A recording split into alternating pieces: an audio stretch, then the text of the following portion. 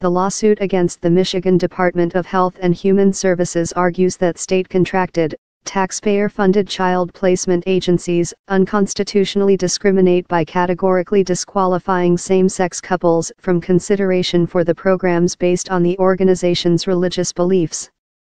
The lawsuit calls for the federal court to strike down a 2015 law passed to protect child placing agencies should they deny adoption services due to a conflict with the child placing agency's religious beliefs.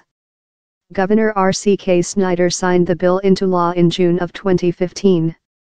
His office did not immediately respond to News Total for comment.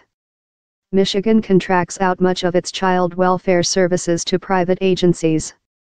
There are 108 child placement agencies contracted by the state, many of which are faith-based, nonprofit organizations. In Michigan, there are nearly 13,000 children in foster care and 300 children awaiting adoptive families, according to Michigan Department of Health and Human Services. The ACLU argues in the complaint that it's a disservice to the large population of children in need of placement to deny them prospectively good care based solely on sexuality of prospective parents. Each time a prospective parent who is able to provide a loving and caring family for a child is turned away by a child placing agency because of a religious objection to their sexual orientation, or any other religious objection, the pool of families available for the children in the child welfare system diminishes, reducing children's options for an appropriate placement, or any placement at all, the complaint says. Married Michigan residents Erin and Rebecca Busk Sutton were recently denied by Bethany Christian Services. The doctor and tutor pair were told by a representative same sex couples aren't our expertise, and she didn't think they would have a good experience with Bethany, the complaint alleges. Bethany Christian Services declined to comment to News Total directly.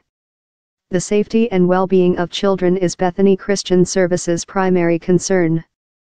We are not at liberty to address any questions on this matter at this time, Public Relations spokeswoman Morgan Greenberg said to News Total in a statement.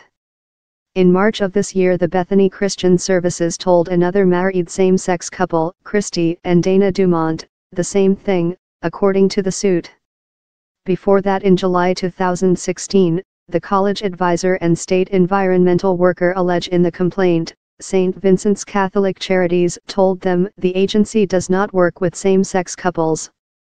At a hearing for House Bill 4189 back in February 2015, Jose Carrera, Director of Clinical Services for St. Vincent Catholic Charities in Lansing, argued that certain situations would be a conflict of interest for the organization. When somebody calls in with interest to become a foster parent or adoptive parent, if they let us know they're unmarried, or if they're gay or lesbian, we immediately recommend, make a referral to another agency, for other agencies that provide that service, Carrera said.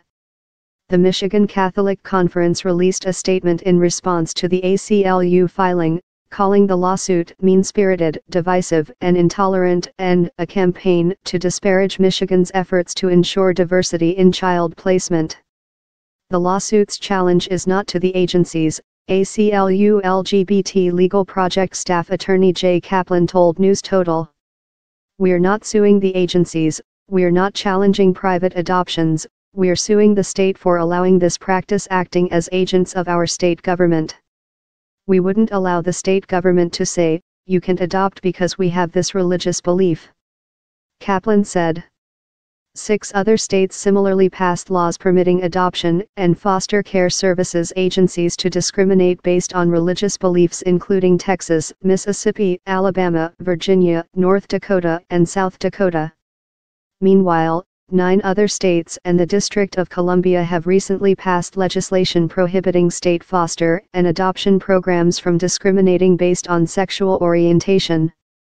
Those are California, Maryland, Massachusetts, Nebraska, New Jersey, New York, Oregon, Rhode Island, and Wisconsin.